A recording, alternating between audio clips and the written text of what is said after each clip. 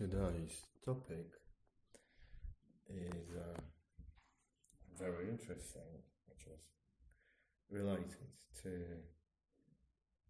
IQ directly. Is how are we planning to develop uh, cognitive potential of our kids and ourselves? Um, and um, have to begin with definition first, what cognitive potential is.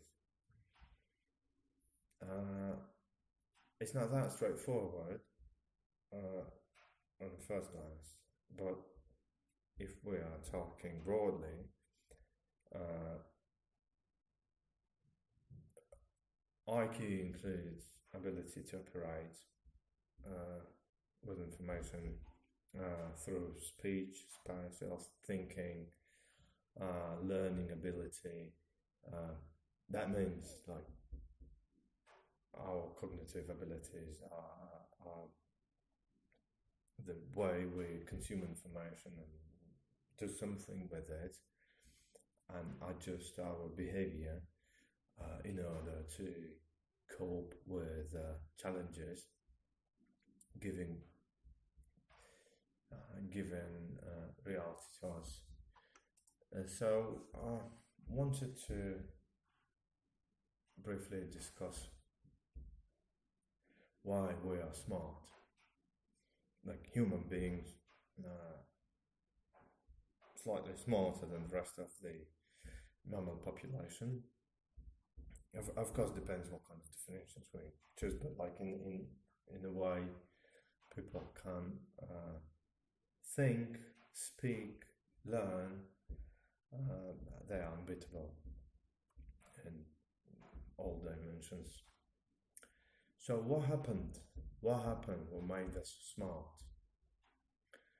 Well, the first thing is uh, human beings are weak in terms of natural weapons. Uh, no fangs, claws, no horns, uh, muscles are not that big, and mass of the body also is relatively small. Uh, human being is walking with uh, the stomach uh, uh, in, in, in forward direction, what means all vulnerable thing is right in front of them.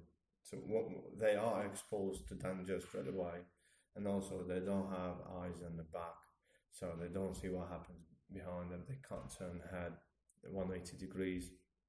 So all that is like with this setup, it's quite complicated to survive. And if human being is alone somewhere in the wild, no many chances uh, they are going to survive. So, with all that, they needed to be alive and they needed to solve those problems and have answers to the questions reality gives them. So, what they decided to do is uh, to cooperate with each other uh, and make sure uh, few of them um, act better than one by one. So that gave that gave uh, that that created a problem which has to be solved uh, in order to survive. So what I mean is, uh, they needed to be together. They needed to stay in group, and they needed to develop skills which help them to be a group, which help them to uh, solve problems together and uh, spread some uh, responsibilities across different members of the group uh, or uh, or even uh, or, or, or, or better than that they needed to give tasks to the members of the group which can do them the best. Right. So, so with all that, uh, first human beings started gathering in the groups, and then those groups started to compete with each other. And now we've got group selection. So that group, which was having better communication, which was having better empathy uh, traits, uh, and loads of other uh, factors developed, they had got an advantage in survival. And a classic example is Neanderthals and uh, Homo sapiens, Homo sapienses. Uh, like some scientists are saying, Neanderthals have ex- extincted because it was hard for them to uh, to spread. It, it was hard for them to split responsibilities and outsource particular tasks to the members of the community who is doing them the best. Because the, every Neanderthal was the hunter and it, it, they, they, they could do everything themselves. That means they needed to have plenty of skills, but they couldn't get perfect in some particular skill, whether in uh, Homo sapiens society. Some people were, for example, doing knives better than others, and because the high level of empathy and the high level of trust let them do that. So, as a group, uh, Homo sapiens had better knives than Neanderthals, and hence they, they have won. Also, they once they've got better tools, once they've got better something else, for example, uh, I don't know, what could it be like uh, a kitchenware or uh, the way they handle fire. Uh, they save precious time producing it and they can spend more time uh, gathering in a group, talking, telling stories to, to each other, exercise their social skills, and then their group is having an advantage. So, in my uh, view, this it looks reasonable. Uh, and also because uh, uh, early humans, and now, especially now, uh, human beings have very long childhood and survival of the group and propagation into the time depends how well kids uh, how well upbringing of kids is happening then more time you've got to spend with your kids that means the the advantage of your group to survive and we in other groups who don't spend that much time with their kids uh, and with outsourcing it, it's, it's just uh, easier to achieve. Then uh, we have to admit that, like, if we've got a lifespan which is becoming longer and longer, then young adults, male and females, males and females, they have to have some mechanisms to choose proper genes uh, of their partner, and and human, human Homo sapiens is uh, evolved in a way that when they are young and they uh, it's hard to understand how they are going to end up in a social hierarchy when they become older. They've got traits which allow opposite sex to select best of them and one of those one of those mechanisms are for example speech ability so if person is speaking well they've got a large vocabulary and uh, they are very attractive to other to other uh, gender. That's very interesting because like once you can speak more once you can better articulate your thoughts, that means when you become older, you could better lead your group to the to the success to the victory of uh, cross group uh, uh, competition. and and in this case, like uh, earlier, people uh, develop their, their kids and their speech abilities uh, better for them to propagate their genes in future generations. Um, also, the, uh, the, the, there is a big there is a big difference uh, culturally between Neanderthals and uh, Homo sapiens, where the Homo sapiens did have more advanced culture. First of all, their their graves look look uh, much more fancier, uh, uh, what means they they had bigger rituals than Neanderthals. Like I'm not saying Neanderthals didn't have their graves, but like the pose in the grave is always the same, like pose of the embryo and uh, not many flowers or not the flowers, but some other things which they believed supposed to follow them on an, on uh, afterlife, for example, weapons or, or some other gear or whatever on the other hand, Homo sapiens, they they, they had that a lot. Like they've got the, and and jewelries and, and, and weapons and, and, tools and everything was buried with their their member of the community. What means they believe that person is going to live after after after death, and that's also is very important concept uh, to understand. Uh, because once you start thinking about that, your brain is developing because you create plenty of virtual realities in which uh, people do live after they die. Uh, and that, that, that also supposed to bring to brain development. Right. So, with all this saying, that means that like human beings evolved to have an abstract thinking, and this was crucial thing because why? Well, first of all, environment is constantly changing, so we have to adapt. But we can't create just uh, some strategy and apply to everything because like it's going to fail now and then, and the failure could be far, uh, could be fatal. Uh, so we needed to create some way of thinking in which we could just have an abstract understanding of things and the way we can extract features of the situation.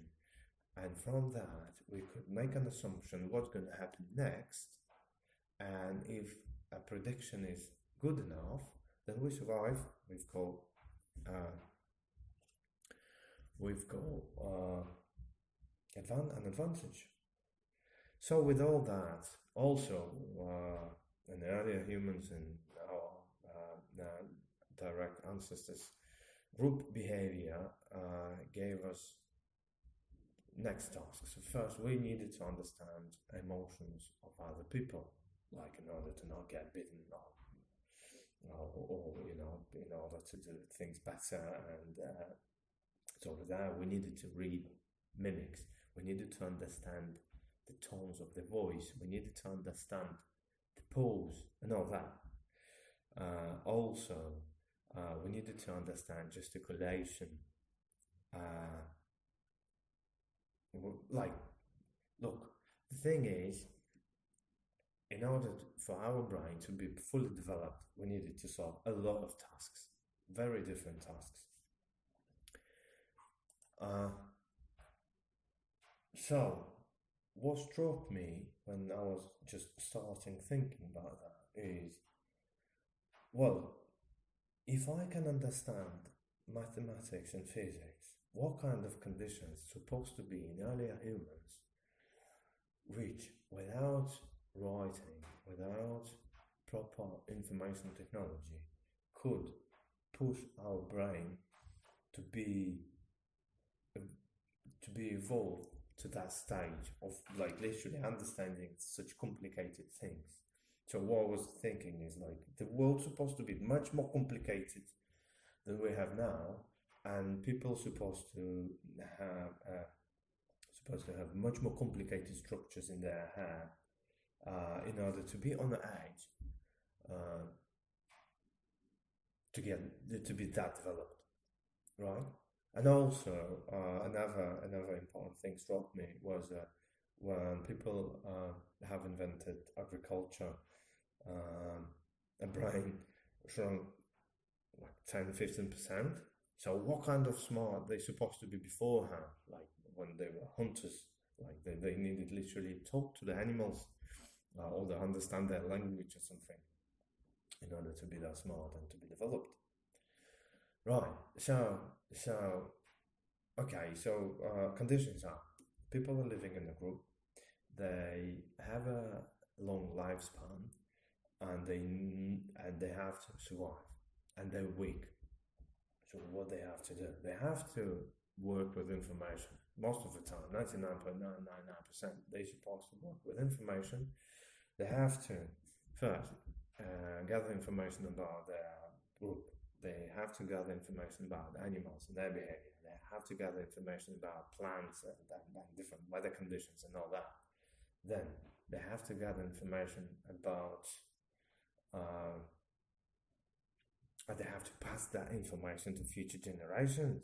And also, it has to be abstract enough in order not to charge a particular year and, and particular conditions in order to uh, uh, give ability to survive uh, future generations. And I think great part of that has that has been taken by religion, but like that's enough at all. Whatever. So what we've got is information technologies. What the way we've got like abstractions. They they needed to come. They needed to understand. This is many. This is this is this is not that many. This is like and that. Like mathematical abstractions are crucial for that because look, what, what mathematics is, is it's just a, an abstraction. No, I'm not. I'm not saying about one plus two, but like we are talking about that x x cubed plus x uh, squared equals zero, and then find x's and y's and so on and so forth.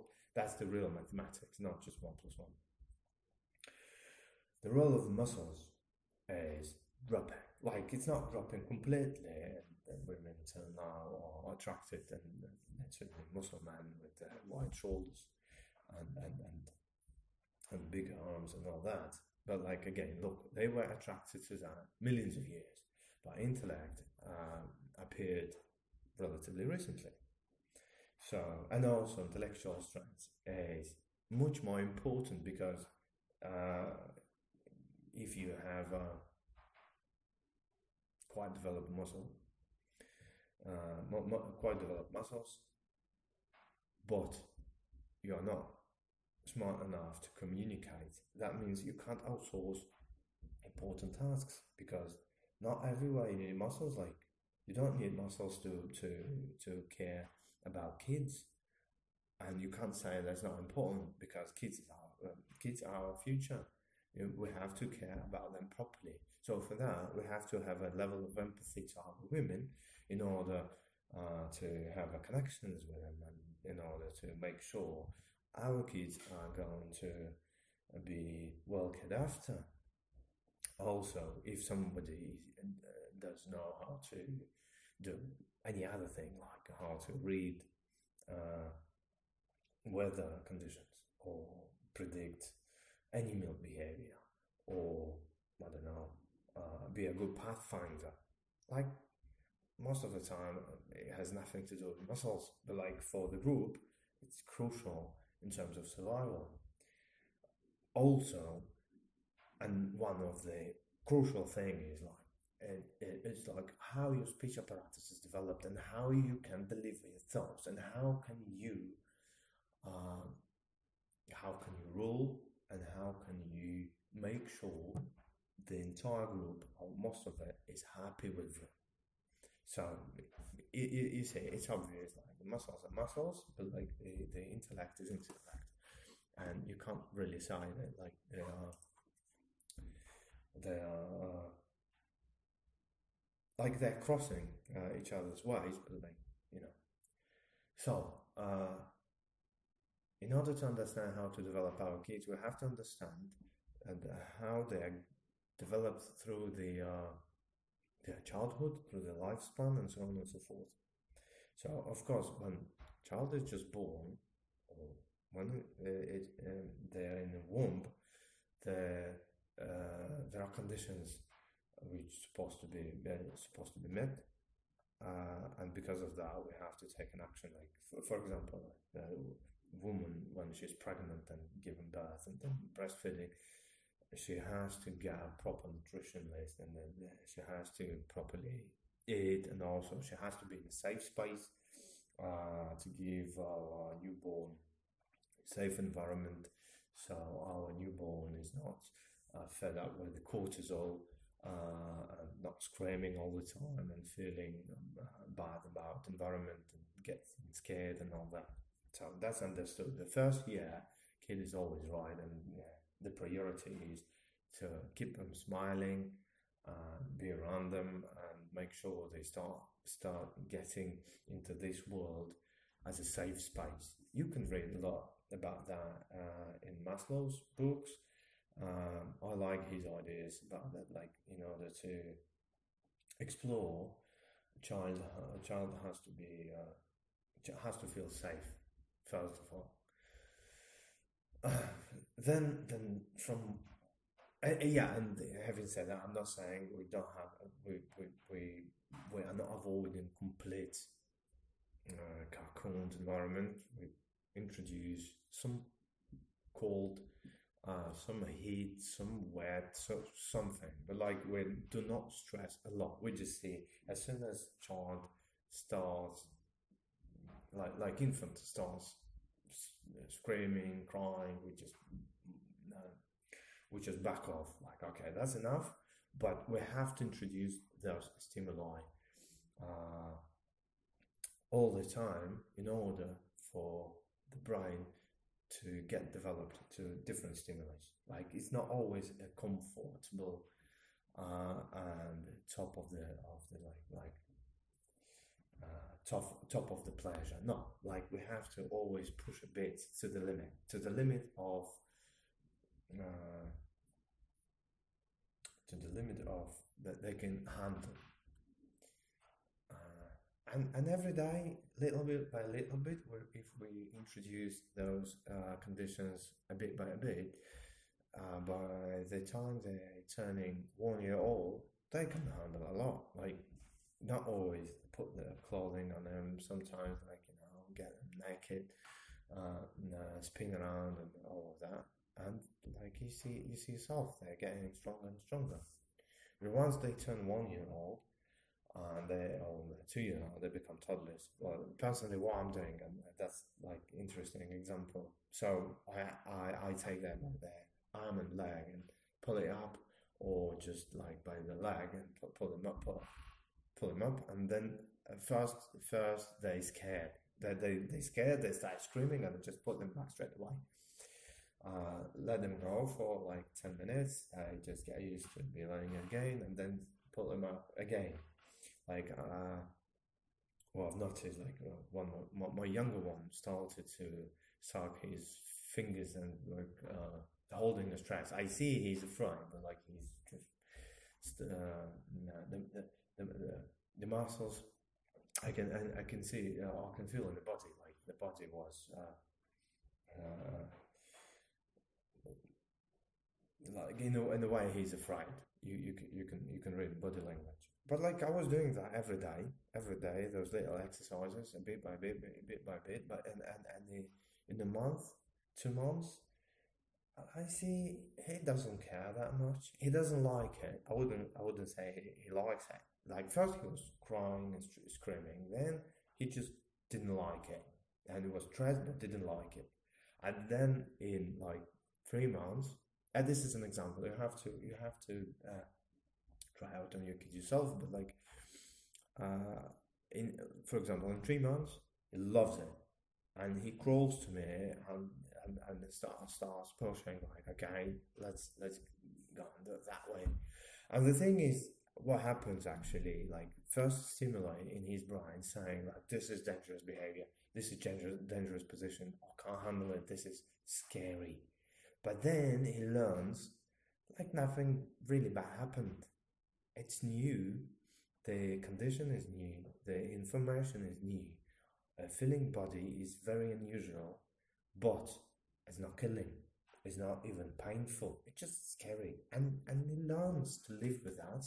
And once he's had, once he learns, look, it was ten times, hundred times, thousand times, and nothing bad happens. I didn't hit my hand, or I didn't do anything else, and I'm fine.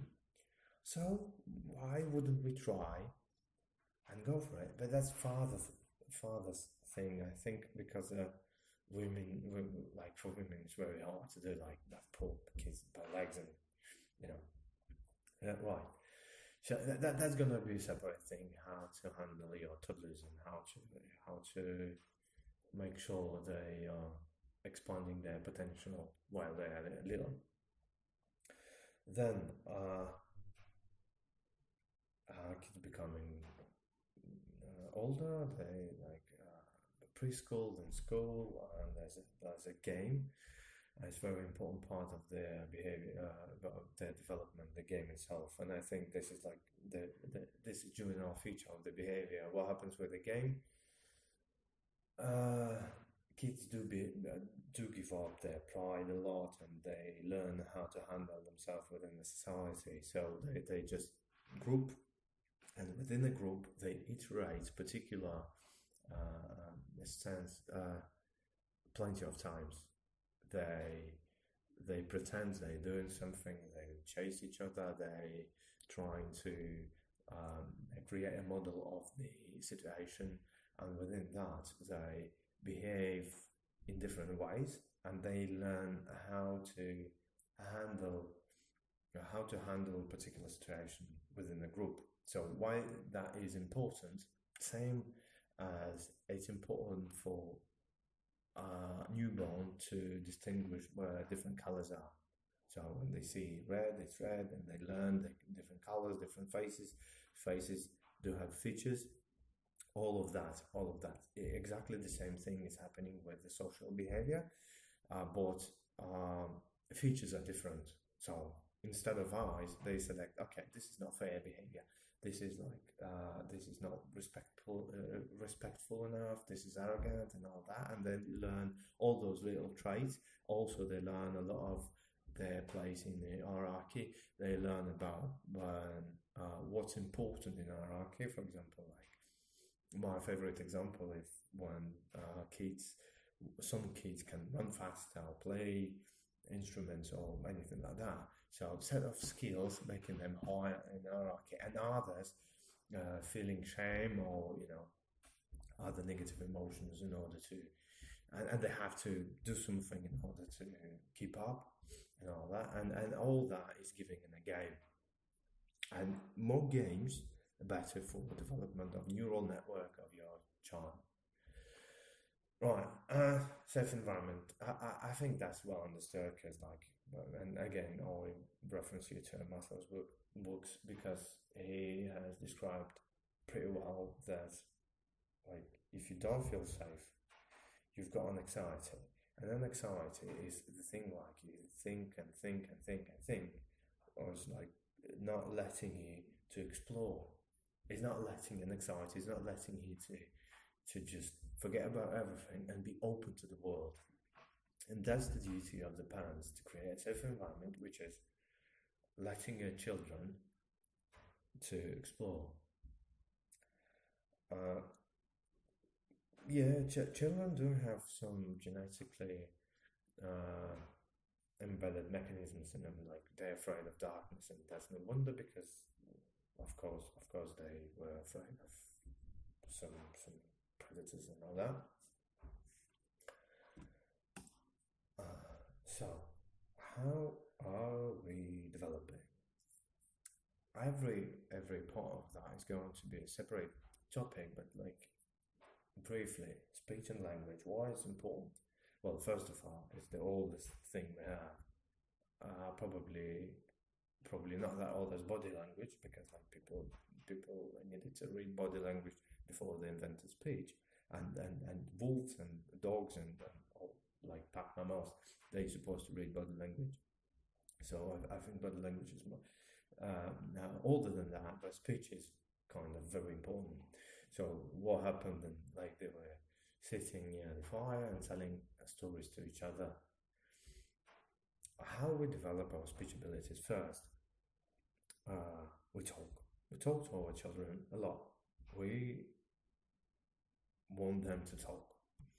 We want them to learn new uh, new words every day. We explain what that word means and what another means and so on. Then, well, because we live in bilingual environment and we have to learn two languages in school, that's very useful because uh, in our particular case, we have to learn like we learn Russian, we learn some others like we learn uh, Belarus, uh, Belarus, I don't know how to say that in English, and and with all that, because uh, Belarusian language is kind of in between Polish and Russian. Polish language is also much easier for us to learn, and kids are learning Polish very quickly. And uh, I'm saying that is like this is the same language group, and we could find similarities between them.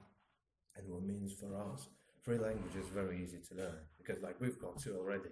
Like by the, by the, the preset, we've got two languages, then we learn third one. So once we are, we are operating uh, languages of our group pretty well, we start learning uh, languages from uh, different group. For example, like uh, because English is international language now, we force our children to learn English, right? So once English is getting learned, then we introduce German because it's a bit more complicated. But uh, again, here I'm not sure which one to take first and what's better, like from complicated to easy one, or vice versa.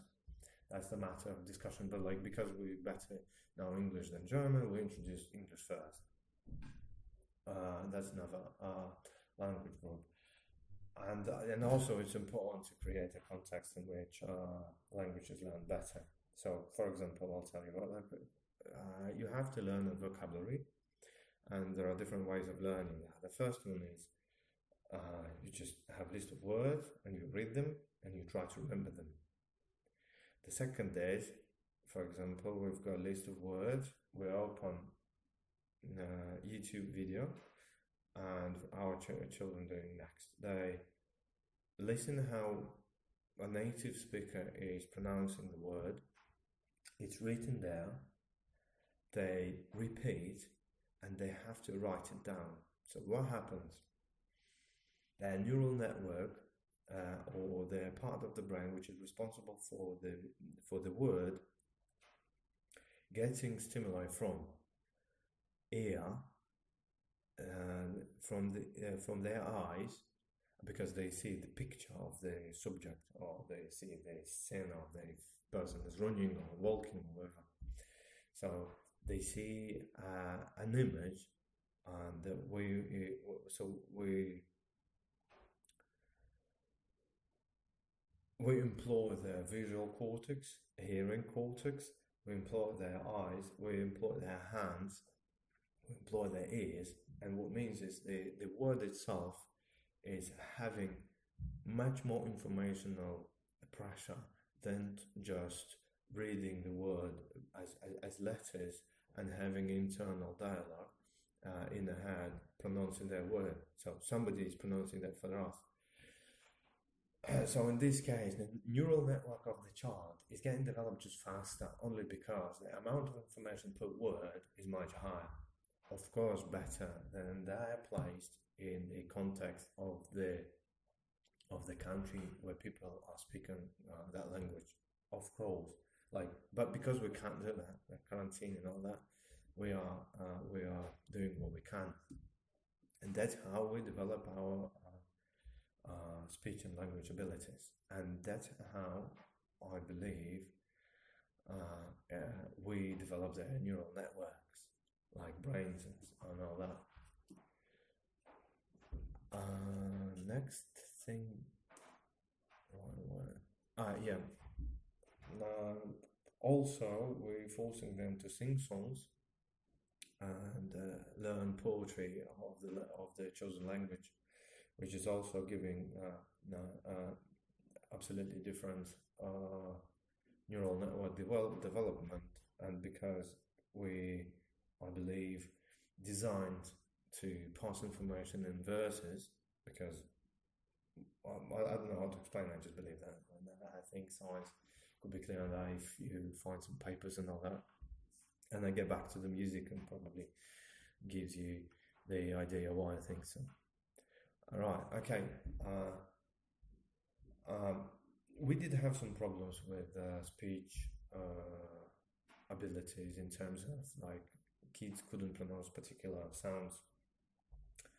So what we've done, and uh, pre-YouTube area uh, era, that wasn't probably available. But now what we've done is, in a very early age, when we detect that our kids can't pronounce this or that letter or sound, or whatever, we simply open YouTube video where they provide an exercise for that sound. So what happens? Uh, we just consistently, five minutes a day, every day, doing so uh, such exercises. And what happens? And I, I didn't understand back then when I introduced that technique, but like I understand now that first, uh, it, the, the brain is growing connections for that particular sound. That's first. Second, muscles of the mouth, tongue, and uh, tongue and uh, uh, voice apparatus, they are getting adjusted to that sound. The more we repeat, more we iterate those exercises, better kid starts to pronouncing particular letters, and also that uh, is impacting other letters as well, because it, it, it's everything is it, everything is working as a whole. And once you, you you say those sounds better, automatically you say other sounds better as well please try out if your kid has got some speech abilities. They are the only rule of thumb here is a consistency. Like don't get them stressed too much. Five minutes a day, ten minutes a day, just every day. Don't skip lessons. Well, mathematics and why I love it because it gives us ability to look at the world through the prism of abstraction. Uh, so, so f- first, first thing first.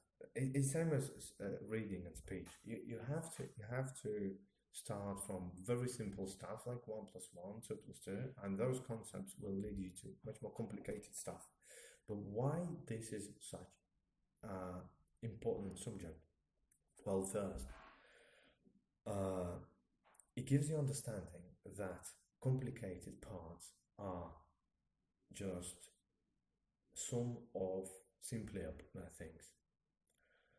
So, and once you understand that, you can you can simply just like embrace the entire world and say, okay, if I could understand such complicated concept, which is built on a uh, which is built from little bricks of simpler things like one plus one and so on, that means nothing is complicated enough for me to be not understood. That's a very important thing to me. And, and, and levels of abstractions could be such a, a, a, a such a high dimension. They could understand what Big Bang is and like where universe is heading to and what on and a number of galaxies, especially like you know there's like they launched Hubble and the Hubble uh, told us just the number of galaxies we have expected is nothing compared to what is shown. Uh, and and we we understood that like you know mathematics is giving us ability. Okay, that's ten in like three hundreds uh, power or whatever. Uh, and and how it's developing our IQ and our brain. Well, first we have to keep in our brain very large number of uh, reason consequence relationship. And when we try to prove particular theorem, we have to always remember and get back to okay, that was that, and this was that, and that means this.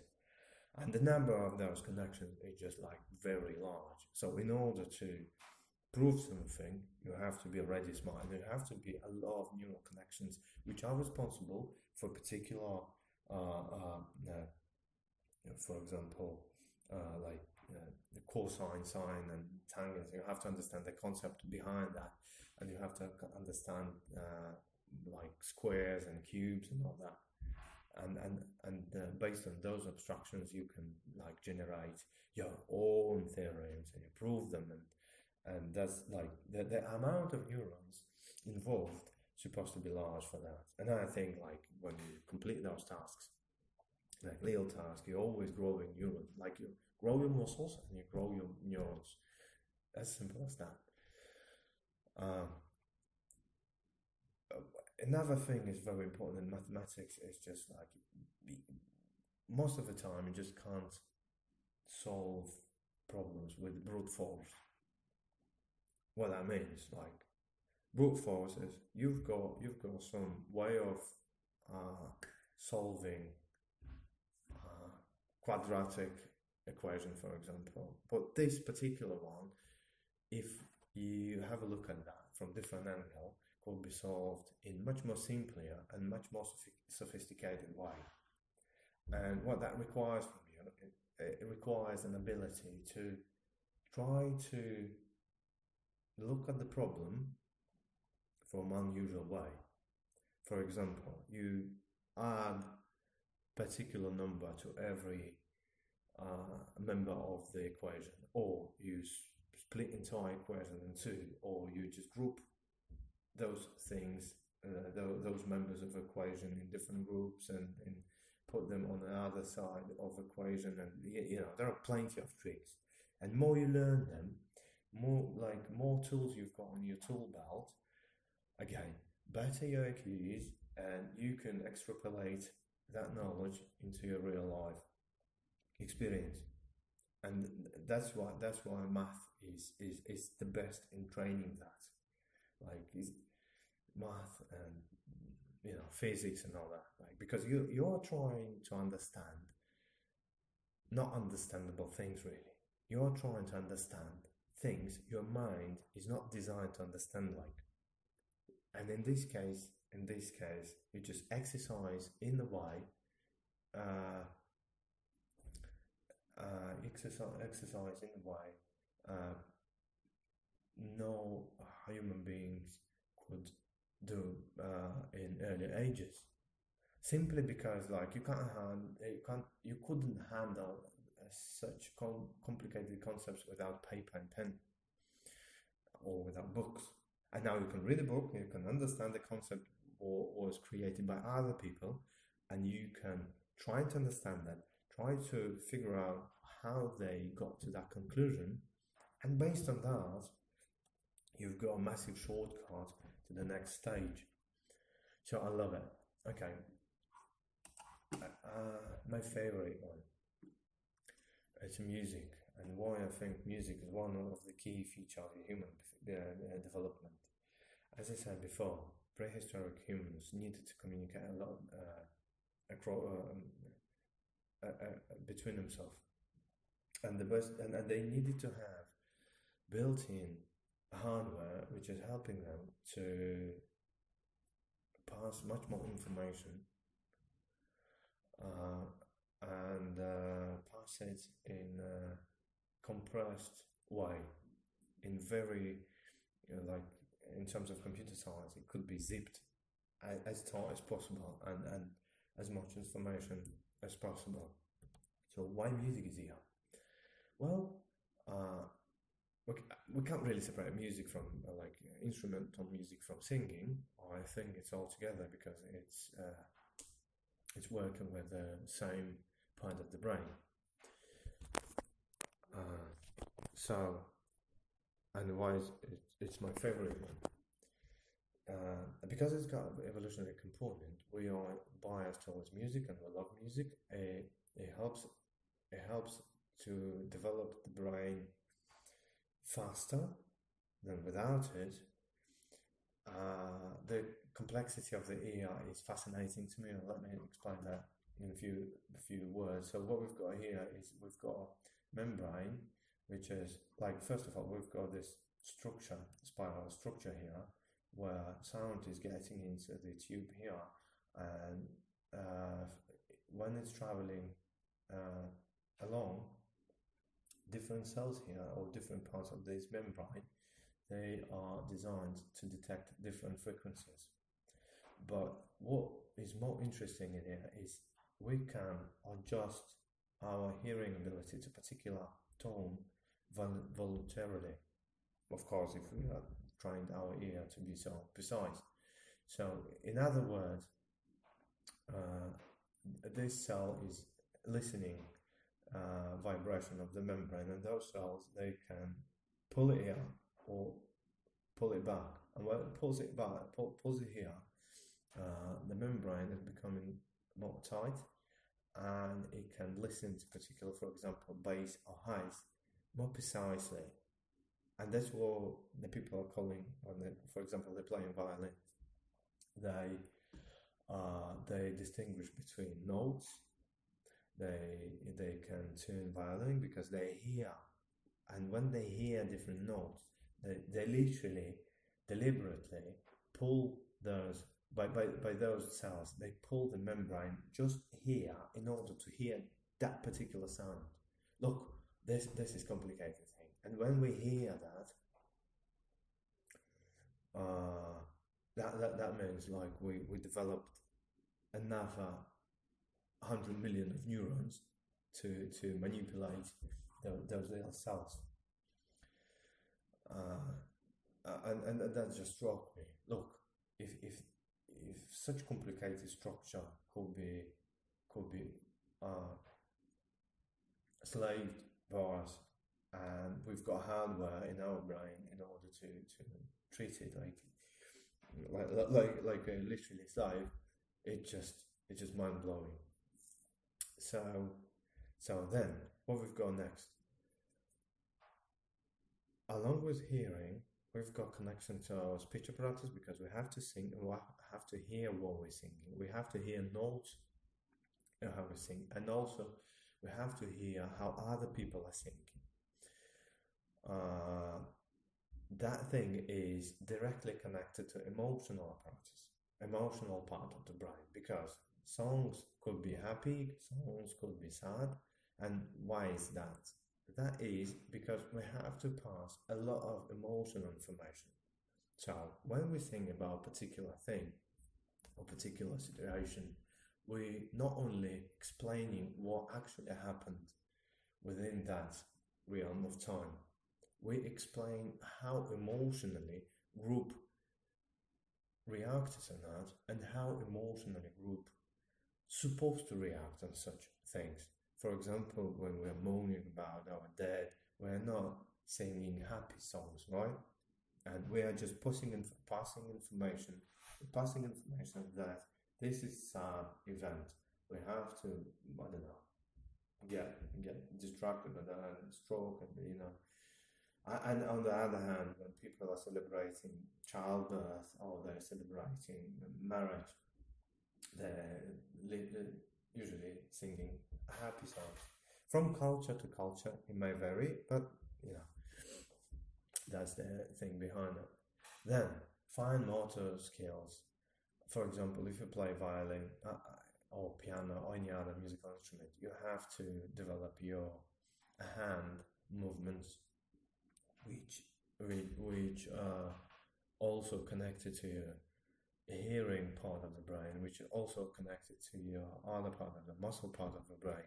And all that is constantly just creating neurons, uh, thousand by thousand by thousand, and creating very large paths between them. And once you build them, they could be used for other tasks. For example, if you can play violin, you can play in, I don't know, bigger um, some uh, I don't know some other instruments, and then you can hear notes and you can play piano and you can play any other instrument quite easily. So yeah, and, and, and of course that's going to raise your IQ level. Of course, because the number of neurons you're growing there is just incredible. Uh, and first, and then second, that's what your brain is designed for. Your brain is designed to listen to the music and create music. That's what we were doing, like most of us. Maybe some people, some people couldn't sing or, or, or play music instruments. They they supposed to be very good at some other things otherwise. Uh, so music, music is, is a big part of our development, and our kids are uh, playing pianos and, and, and violins and, and so on and so forth, and singing and stuff like that. Right, sport. On the first glance, it could be seen as where IQ and where the sport is. But look, it's very important. First is sport is giving adequate understanding of their place in the reality. Why? Simply because the results are tangible. Like you, whether you run ten or you don't, whether you can, um, whether you can lift up hundred kilos or not, whether you can hit the ball or not. It's just like uh, black or, white, or white, and there's no in between. So, uh, what sports give you, apart, apart from other uh, health benefits, it just gives you an understanding. First, if you don't work, you don't get results. As simple as that. In second, the results are there. You can't fake them. You can't really cheat or anything like that. Whether you, so, so, so results supposed to be real. Another thing is, it's intense brain boost by a high fitness level. How that is happening is because, for example, when you're running, your heart is pumping a lot and your vessels are becoming bigger, of course, because you have to drop the heat from your head. You have to uh, push much more blood through your brain, and oh, brain is getting fed better. Another thing what I've noticed while running is I think well, well two things. First one is uh, recent research suggests that while we're running, we along with endorphins, we are getting endocannabinoids, uh, those uh, substances similar to which marijuana contains. And in my opinion, why is that happening is because we are so overwhelmed with uh, different stimuli from different organs. Our uh, liver is is, uh, is telling us like it's it's too hard. Our lungs, uh, heart is pumping, uh, legs are uh, are tired, and so on and so forth. But evolutionary, we're supposed to solve complicated problem on the run.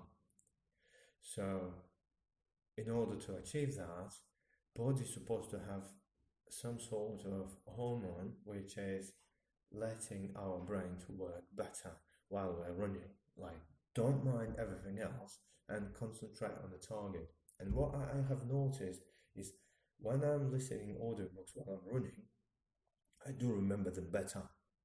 And I think that's because of those substances, which is similar to to uh, uh, marijuana ones. Because because the the brain is working better, the brain is uh, the, the it's it's more open to senses. Uh, it's more open to thinking abilities, and when you're running, you're supposed to like target, for example, a prey and think how prey is going to behave, and you, in order to reach it, you're supposed to think, and you're supposed to predict its behavior and you're supposed to be in the thing you're supposed to be in the process so i think that's another thing. So uh, uh, this this is about simple running and simple uh, fitness thing. Another thing is like uh, hunting most of the time cross culturally it's a team game. So you have to pass signals you have to read signals from your hunting buddies. And this is also i think why that's happening while we're running uh, and also look we can't we can't really spend 100% of time uh, for our fitness. Modern world is the world where we have to work with information a lot of the time. We have to stay at monitor and we have to read and read and listen and read. So sport is the best way to turn off our monitors and make sure we're not getting rusty and our bodies are sounds. Right.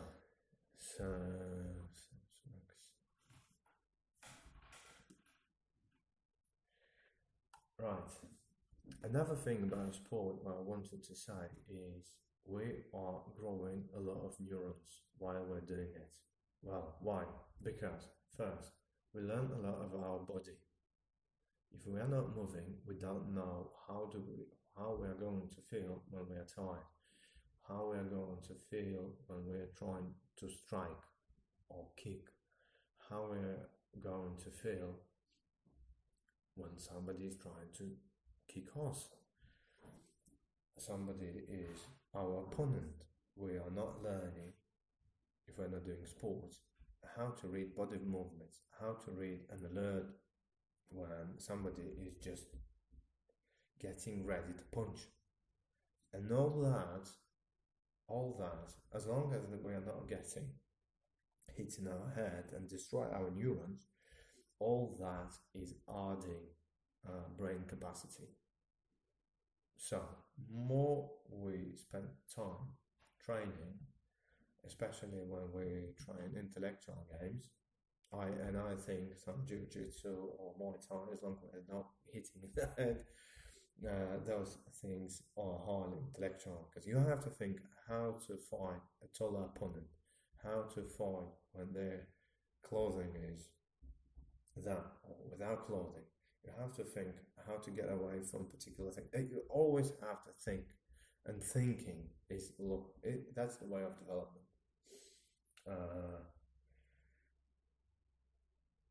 I'm not sure about swimming that much, but look now swimming also you can buy the water resistant MP3s and headphones and uh, uh, listen to audiobooks, also podcasts while you're swimming. That's also fascinating in my opinion. Like when I was swimming, I didn't have that luxury. Luckily, we've got that. So getting back to the conclusion of this speech and uh,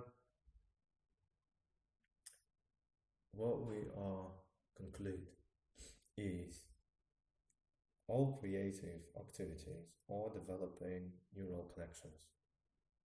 So doesn't matter what you do, you are as long as you are not filling up your neural network with the trash of I don't know, some rubbish information, as long as you are developing particular motor skills, particular speech skills, as long as you are working on something, you are developing your abilities. And uh, that's your responsibility, of course, to have a healthy limit of, in order not to kill yourself at that. But, for example, for our children, if they want to draw we'll let them. If they want to color something, we'll let them because again, they are developing little uh, uh, motor hand movement when they're coloring something. The more they color, the better their hand is working, and it's also proven thing that uh, hand control is directly connected in your brain to your speech abilities. The more they draw, better they speak. Also, they can go in school in some classes where they, I don't know, make toys or make uh, little kitchenware from clay. Very interesting thing. And they learn how to do that and they learn how the little thing. Look, uh, my daughter went there and she comes back and starts the, the, playing with the clay. And I was absolutely amazed. How can she, what kind of things can she do with that? But when I've spoken to her teacher, she says all of that consists of little operations. So first you have to learn how to make little balls, then you have to learn how to make, uh, you, you, know, those uh, long things, and then you learn how to assemble them together, and then you play those little tricks. And literally what she said, it was 20, 25, uh, 20 25 uh, exercises they're doing, and once they're good at all of them, they can do just about everything. And I was amazing. Look, even such complicated thing was broken down in uh, simpler tasks. So that everything is like that. Drawing is like that. You, you first you learn how to draw a circle, then you you learn how to make triangles, and then you learn how to assemble that, and then you have a face, and then you move further and further and further. As long as you caught your kid uh, being interested in something, just promote that.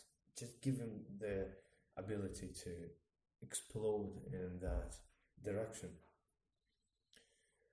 Yeah. So what that means for us is just we have to make sure our kids is busy. Our kids are busy with some tasks which are just good for their development. We're not forcing them, but if I see they're doing something not good, they're just like trying to move their focus of their attention to something more productive. And as soon as they uh, I see they're getting inside there, maybe as an amusement, I can say, okay, you can play with the phone sometimes, but like in order to play with the phone, you have to run another mile. So that's well, I, I, I, know, I know, I know that's blackmailing, but like you know, we have to we have to think about them now uh, in order to let them go when they're getting older. Uh, otherwise, they come to us and say, "Look, you could force me to run, but you didn't. That's your fault. So better I'll be guilty now than then." Uh, we have to think uh, that uh, children do need an activity. That's their natural. Uh, well, th- that's their nature. The activity is their nature. So all we have to do is just give them right activity. Uh, and also we have to we have to what we have to make sure they have an access to uh, other activities. So if we think the music is developing their brain, we have to give them ability to to uh, the, to exercise the the music. So, well, we are in a very lucky conditions here where we live because we've got music school and we've got fantastic uh, teachers who are teaching them violin, uh, piano, and some other instruments. We've got fantastic teachers who are teaching them to sing on professional level. Uh, and, and I think for, for every parent, they just have to understand they have to find a way their kids are going to visit those teachers and they just have to be there. Also, when, like, for example, my daughter who's playing violin, she is not always interested in playing instruments because it's hard, obviously. So what I'm trying to cheat her is um, I'm saying, look, just touch it, just open it, touch it, and it, like show me two notes. So she's showing two notes, and what happens? The the her brain is starting firing and she says, okay, those two notes are fine. What is about third one, fourth one? Would you not play that piece of music just quickly? And she does it, and then I see she's interested for another five minutes, or she wants to, uh, or she wants, for example, I don't know, so play in the phone another stupid game, I said, look, just quickly go through all your concerts, five minutes, and you will play no problem. And what you have to understand is just once they getting involved, e- even for them, it's very hard to get out. So once once she's starting touching violin, for her, like okay, it's becoming interesting. It's becoming interesting to get sounds of it, and because of interesting, I I can't really drag the violin out of her hands anymore. So all I needed to do is just ask her to do a little bit of it and once she's starting, so that's that's what we have to understand the need for an activity. Uh, uh, we have to just like fire a, a particular brain part in there, uh, and, and and that's gonna be that's gonna be another big task. How we are cheating our kids in order to, in order their brain to be developed on the top level. Because look, look, why I see is that's one of the important conclusions here is uh, world is changing, and uh, right, okay, so so people like ten or twenty years ago, people were afraid that the selection of human beings is going towards not very, very intellectual uh, members of society. However, these days it's drastically changed. So uh, lower intellect people they will be struggling getting a job because world is getting much more complex than it was 20 years ago. So it's absolutely crucial for our kids and us make sure our children are going to be developed on the, or on the tip of their intellectual abilities. Otherwise, they're gonna get in trouble. And further we go, I see higher levels are. Good news here is that we are not that much genetic, gen, genetically different, and all requires for us is just spend some time, create a system for development, and follow the system. And once we do that, our kids are going to be okay. But we have to be consistent. We have to make sure we are developing IQ potential of our kids on the top of the thing.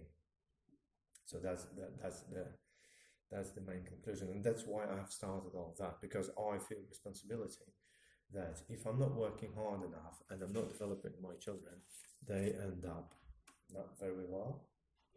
Uh, I foresee the world is going to be very complicated, and to survive and to understand what to do, it's going to be very complicated. This is this is my worry, and this is my concern, and that's why that's why I'm trying to create solid border between rubbish information and my children, and make sure only information which is going to develop their abilities, their social skills, their well, I mean their IQ, obviously he's going to get there. Like similar to sanitization or something. Right, that's it for today. Thank you for your attention. And the next time, I'm planning to talk about responsibility, how to develop responsibility, what kind of uh, part of our brain is going to be responsible for that, and what what kind of little things are